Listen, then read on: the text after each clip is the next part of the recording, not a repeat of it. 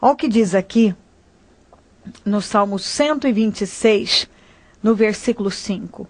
Os que semeiam em lágrimas cegarão, colherão com alegria. Os que semeiam fé, semeiam fé. Essa é a tradução. Vão colher alegria. Compreendeu? Se você planta uma fé viva, você colhe alegria. Todo aquele que planta em Deus, todo aquele que manifesta fé no Senhor, ele colhe alegria. Os que semeiam em lágrimas, semeiam em fé, colhem alegria. Compreendeu? O problema é que muitos semeiam desânimo. Ele planta o quê? Inconstância, desânimo, reclamação. As lágrimas que ele derrama é de reclamação, de murmuração. Não, não são em Deus. Ele não, não, não semeia em Deus. Entendeu? Ele não semeia lágrimas em Deus, ele não semeia fé no Senhor.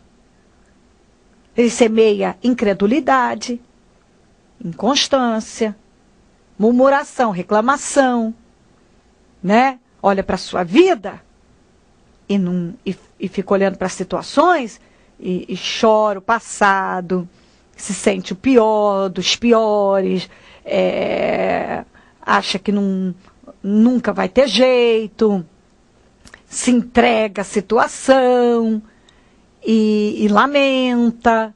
E aí se entrega e se entrega, eu quero morrer, eu, eu não vejo mais saída, e aí se joga numa cama, e como eu, eu sempre digo, uns estão comendo demais, outros estão dormindo demais, e se drogam.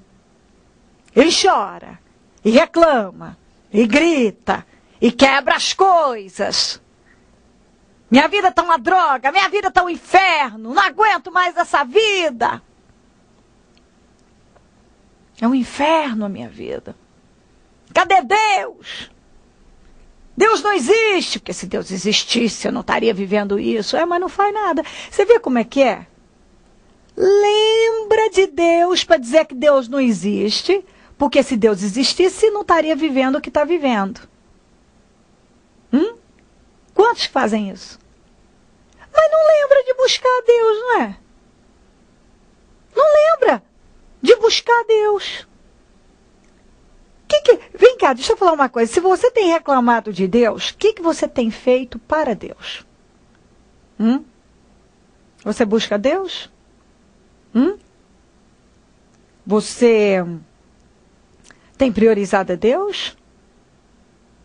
Eu já contei aqui que uma vez uma senhora chegou para mim e disse, revoltada, com ódio do mundo: Cadê Deus? Onde estava Deus? Quando meu filho morreu, por que, que ele deixou meu filho morrer? Eu disse, agora senhora se lembra de Deus, minha senhora? Hã? Ele estava no mesmo lugar quando o dele morreu pela tua vida e pela vida do teu filho. Mas a senhora nunca lembrou de Deus. Quando que a senhora parou para buscar Deus? Agora a senhora lembra para poder acusar Deus, jogar a culpa da morte do teu filho em Deus. Não é fácil? É fácil para alguns, não é? Né? Meu filho morreu. Então Deus é o culpado. Não é não. Não é não, meu filho. Não é não. Porque Deus não tem responsabilidade com quem não está debaixo da bênção dele. Olha aqui o que diz, ó. Como é feliz quem teme o Senhor e anda em seus caminhos. Como é feliz mas é quem teme a Deus, está aqui no Salmo 128. Como é feliz quem teme a Deus e anda nos seus caminhos. Não é? É, é, é, é muito fácil as pessoas lembrarem de Deus quando alguma coisa não vai bem. Mas é engraçado como não se lembram quando tudo vai bem. Você não vê as pessoas, muitas dizendo: Olha, foi Deus quem me abençoou nisso. Mas quando a coisa der errado, a culpa é de Deus. A culpa é de Deus. Não está errado. Entendeu? É igual tem uns que viram e diz assim: é se Deus existisse, não tinha tanta miséria, tanto sofrimento, tanto isso e aquilo. Não, se as pessoas temessem a Deus, invocassem a Deus, não tinha tanta miséria, tanto sofrimento. Porque está aqui, ó. Você comerá do fruto do seu trabalho e será feliz e próspero. Hã? Mas porque teme a Deus e anda nos seus caminhos. Deus não é culpado da destruição que está aí, não. Deus fez tudo perfeito. Agora o homem polui, desmata, faz filho aleatoriamente e joga no mundo, a culpa é de Deus. Hã? Ô minha gente, existe uma lei. Existem leis que foram estabelecidas.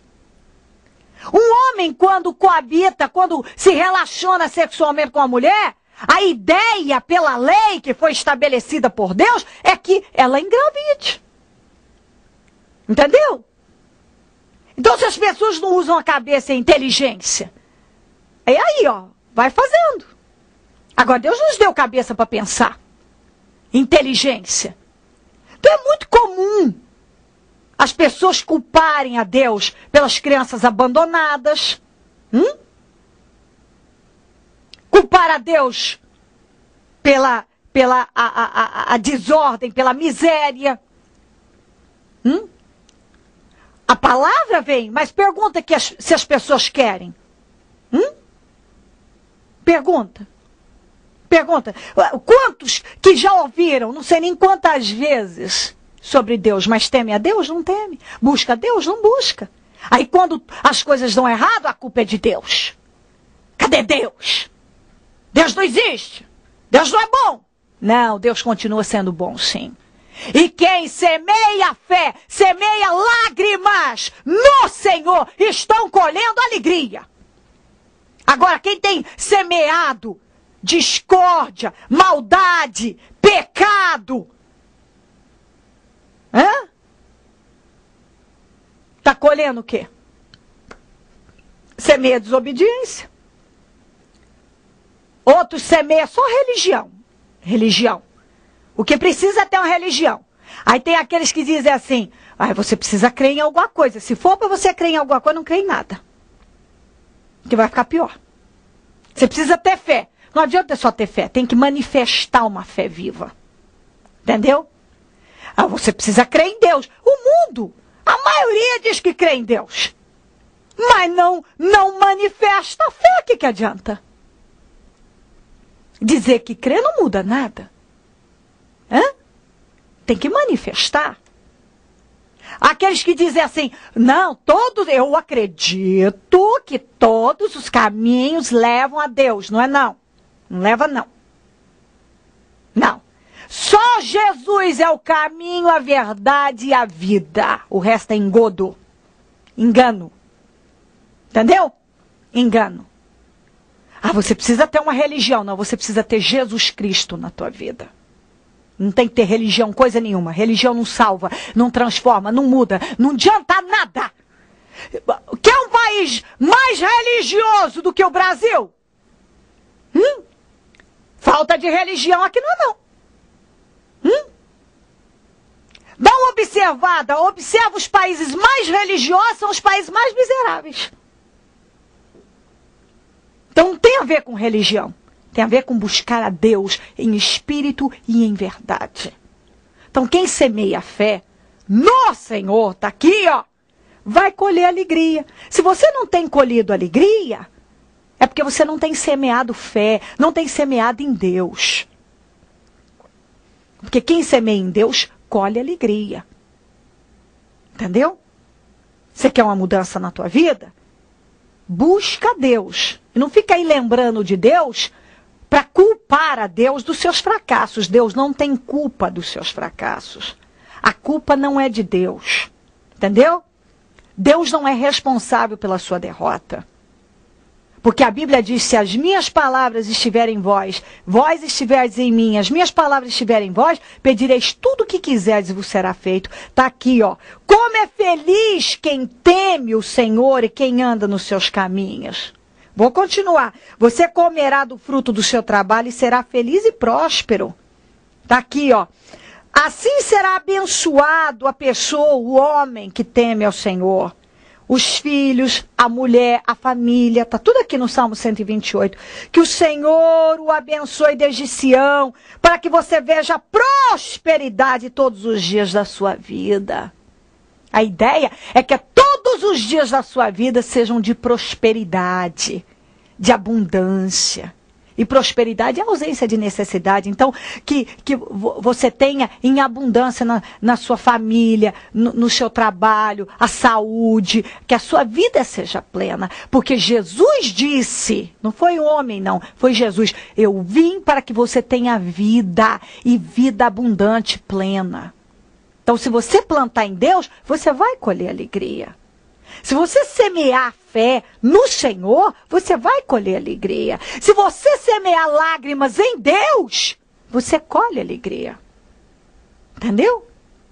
Você colhe alegria. Se você se submeter a Deus, você vive a plenitude.